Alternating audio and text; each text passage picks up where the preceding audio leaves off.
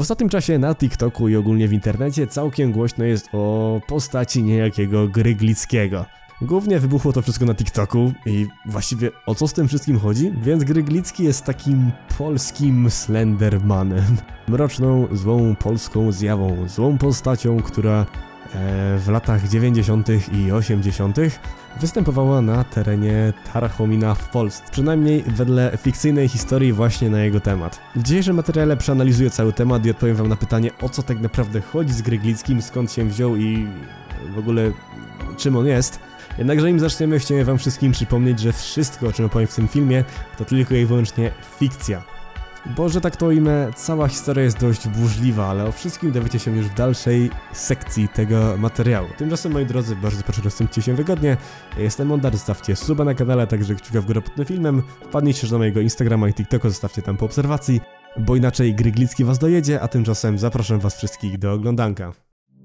Więc tak, temat Gryglickiego już na samym wejściu jest bardzo skomplikowany, bo nie wiadomo do końca gdzie szukać informacji na ten temat. W sensie, jakaś tam część TikToka stale o tym trąbi, ale nie idzie zweryfikować, która informacja jest jakaś rzetelna czy coś. W każdym razie z informacji, do których doszedłem, a dokładnie z artykułu na Vibesie, chyba tak się to powinno odmieniać, sam projekt Gryglicki pojawił się już około stycznia bieżącego roku, czyli niespełna rok temu.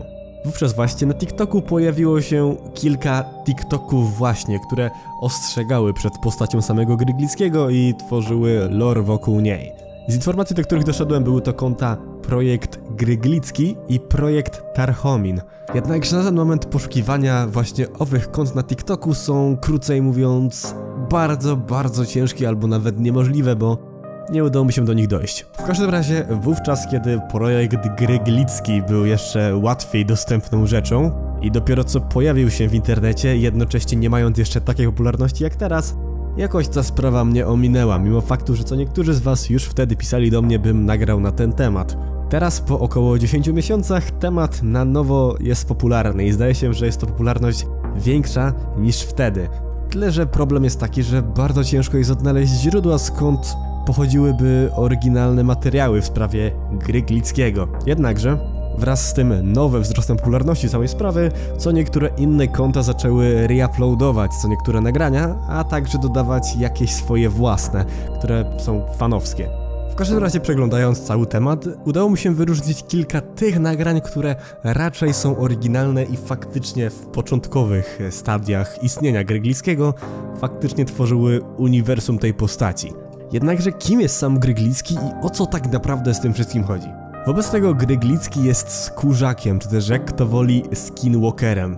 Jakby ktoś nie wiedział, skinwalkerzy to te straszaki z wierzeń w Ameryce Północnej, które to są tymi istotami zamieszkującymi lasy i inne zadupia, które e, potrafią przybrać dowolną formę, podszyć się pod cokolwiek, zmienić cokolwiek, a następnie straszyć cię i tak dalej. E, nic ciekawego do końca, ale no wiadomo o co chodzi. Wobec tego Gryglicki ma być skinwalkerem, czy też jak mówi samo uniwersum, skórzakiem powstałym w Polsce w latach 80.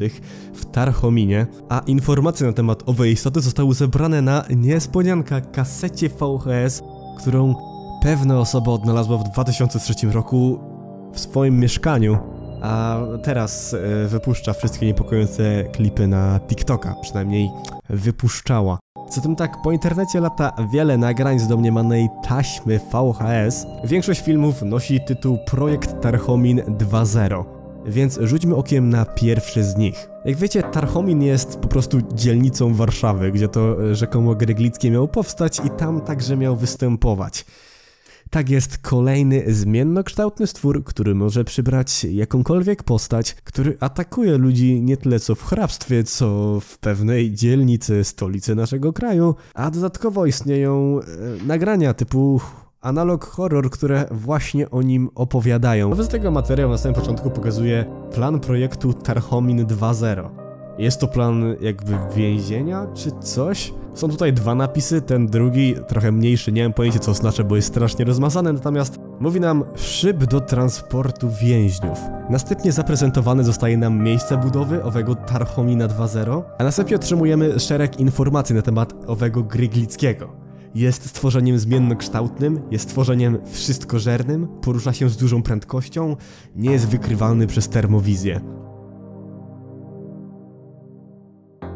Materiał wykonany na polecenie Ludowej Armii Polskiej, Polska Rzeczpospolita Ludowa 1985. Materiał został przesłany 29 listopada 2021 roku, wobec tego jest to jeden z tych pierwszych oryginalnych filmów na temat Gryglickiego. Opis zresztą jest całkiem ciekawy. Skradnięte taśmy pokazujące, jak miało wyglądać przetrzymywanie pewnego stworzenia zwanego Gryglickim. Wobec tego cała taśma opowiada nam właśnie o budowie miejsca, o nazwie Tarchomin 2.0, które miało być właśnie swoistym więzieniem dla przetrzymywania Gryglickiego, czy też innych Gryglickich, bo raczej jest ich więcej. Nagranie dodatkowo opowiada nam, czym dokładnie jest Gryglicki i w zasadzie jest to taki zmieniony pod kilkoma względami alternatywny z Mandela Katalog, ale no wiecie, Gryglicki tak naprawdę jest mroczną, niepokojącą postacią, która porusza się po ulicach Tarchomina i prawdopodobnie poluje na ludzi czy coś. Jeszcze tego nie wiemy. Następny materiał na kanale to nagranie telewizyjne. Jest to dokładnie nagranie ostrzeżenia emitowanego telewizji podczas niejakiego incydentu tarchomińskiego z listopada 1999 roku. Podczas emisji jakiegoś programu nagle dochodzi do oficjalnego komunikatu Polskiej Republiki Ludowej. I tak jest. E, coś takiego jak Polska Republika Ludowa nigdy nie istniało. To była Polska Rzeczpospolita Ludowa, ale nie czepiajmy się Eee, no, no wiecie, szczegółów. W Twojej okolicy wykryto wysoką aktywność skórzaków. Zalecamy jak najszybsze schronienie. Porady schronienia znajdziesz w oficjalnej kasecie VHS dostarczonej przez rząd polski. Z kolei ostatni materiał na kanale to kryptonim Vexa. Lekkie obeznanie skórzaków. Samo nagranie prezentuje Polskę sprzed jakichś 30 lat. Ważne są tutaj natomiast wyświetlające się napisy. Dane operacyjne numer 196. Kryptonim Vexa. Skórzaki to nie są stworzenia podobne do czegokolwiek. Działają bardziej jak wielkie komórki zwierzęce. Przy niekontrolowanym wzroście mogą pokryć całą Warszawę. Wielka płachta, czegoś podobnego do tkanki mięśniowej. Prawdopodobnie na całym świecie odkryto inne ogniska skórzaków. Nie wiem jak długo Warszawa jeszcze będzie bezpieczna. Ty. Istnieją jeszcze dwa shortsy. Pierwszy to tajny dokument, klasyfikowany dokument nie dla publiki. Projekt obrony przeciw skórzakom. Projekt Tarahomin 2.0. Oddział obrony przeciwskórzakowej. Pistolet PS01. Patent. Słuchajcie, YouTube ostatnio trochę odwala w kwestii e, monetyzacji, demonetyzacji, ucinania zasięgów w filmach i tak dalej, e, więc e, broni palnej wolałbym nie pokazywać. Macie tutaj blur, mam nadzieję, że zrozumiecie. Materiał wyprodukowany na prośbę Wojska Polskiego. Istnieje również jeszcze jeden short, mianowicie Wojciech Kepiński 2000, który dotyczy właśnie generała Wojciecha Kepińskiego, który dokonał zbrodni w Susłach Wielkich, kiedy to cała wieś została zniszczona, a także wymazana z map Polski, a także, że Kepiński miał być kryty przez pewnego polityka, który miał zostać znaleziony martwy 25 listopada 1999 roku z rozszarpanymi nogami i odgryzioną krtanią. Następnie wspomniane jest, że projekt Tarchomin 2.0 został wybudowany na polecenie rządu Związku Radzieckiego, a także miał on służyć do badania pojmanego skórzaka, którego na cześć pomysłodawcy projektu nazwano Gryglicki, Projekt jednak wykorzystano do eliminowania niewygodnych ludzi poprzez zrzucanie ich na pożarcie Gryglickiemu. W Torchominie 2.0 miał miejsce pożar, który został spowodowany zniszczeniem instalacji elektrycznych przez wprowadzonego w szał Wojciecha Kępińskiego, a 22 listopada 1999 Tarchomin 2.0 został zamknięty, a Gryglicki zaginął. E, dla jasności to wszystko jest fikcja, a ja w tym materiale opowiadam o fikcji, bo w internecie pojawił się jakiś ziomek, który zaczął robić filmy o Gryglickim, a ja tylko chcę powiedzieć kim on jest. E, e, tylko tyle chciałem powiedzieć. Na pewnym kanale znalazłem także materiał Kurs dla pracowników Tarchomin 2.0 VHS, o następującej treści. 1989 Tarchomin 2.0 Kurs dla pracowników obrona przed stworzeniami zmiennokształtnymi. Odgłosy. Istoty zwane potocznie skórzakami są łatwe do zidentyfikowania ze względu na specyficzne odgłosy.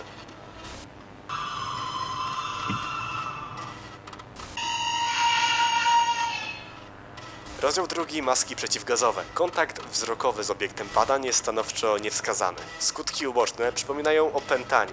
1. Utrata świadomości i kontroli nad swoimi działaniami. 2. Wykonywanie poleceń wydanych przez obiekt badań. Objawy ataku nigdy nie przemijają. 3. Ochrona budynku. W przypadku wydostania się obiektu badań z wyznaczonej dla niego strefy, wszyscy badacze powinni zebrać się przy wyjściu do szybu. I w kwestii filmów o Gryglickim to raczej byłoby na tyle. Doszedłem także do informacji, że w międzyczasie ktoś próbował rozdmuchać popularność całego projektu, mówiąc, że na live'ie Murcix y, miał pojawić się Gryglicki, ale chyba się to nie udało. Więc chyba wszyscy już wiemy o co tak naprawdę chodzi z tym całym Gryglickim. Jego historia nie jest jakoś zbyt szczególnie imponująca. To byłoby jakby na tyle fajnie, że mamy jakiegoś polskiego trollja, czy coś koło tego, mimo faktu, że został on naprawdę no słabo wykonany, ta cała historia wokół niego i tak dalej, to wszystko jest strasznie prymitywne i no, nie podoba mi się. Aczkolwiek fajnie, że chociaż coś jest, ale jest... Ah, okropne. No, mogę chociaż pochwalić co niektóre fanowskie filmiki na TikToku, bo niektóre są całkiem zabawne, niektóre całkiem fajne. Em, miano polskiego trollża, jak widać, nie jest zbyt trudne do zdobycia. Więc tak, e, mam nadzieję, że e, podobało wam się i że wreszcie wszyscy wiedzą, o co to tak naprawdę chodzi z Gryglickim. Tymczasem ode mnie to byłoby już na tyle w tym materiale. Wielkie dzięki za oglądanie. Jak wam się podobał, zostaw suba, zostaw także kciuka w górę pod filmem, żeby materiał mógł się gdzieś tam dalej fajnie pozycjonować. Wpadnij także na mojego TikToka, także Instagrama, zostawcie tam po obserwacji. A my tymczasem słyszymy się już w kolejnych filmach na temat jakichś bardziej rozgarniętych tematów. Trzymajcie się cieplutko, mówię do Mondar. Miłego dziękuję wszystkim, cześć.